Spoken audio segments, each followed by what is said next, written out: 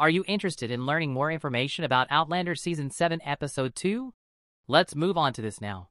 The title, The Happiest Place on Earth.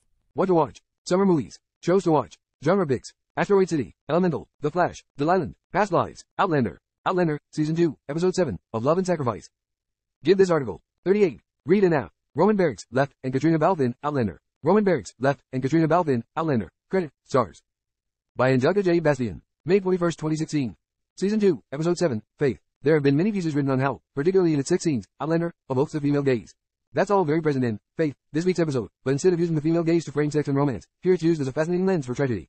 The episode's editing, structure and directorial choices don't wholly work, particularly the beginning, which shows Claire giving birth to her stillborn daughter. The camera assumes Claire's point of view. It swoops and swoons, hazy at the edges. We get only glimpses of what's happening. A nun praying in the corner. Mother Hildegard trying to comfort a disoriented Claire. Monsieur Forez working to get the child out of her. It's only until the startling overhead shot that we see how gruesome this is. Claire's legs are splayed, blood is everywhere, and she looks to be near death.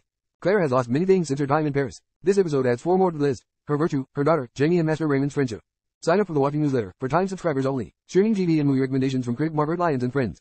Try the Watching Newsletter for four weeks. In Jamie's absence, Master Raymond becomes an important figure, staying in Paris even after Claire warns that he's in danger. It's his hands that comfort Claire during her time of need. It's his ingenuity that saves her life as the placenta is still inside her festers. He sees Claire as clearly as Jamie does, maybe even more.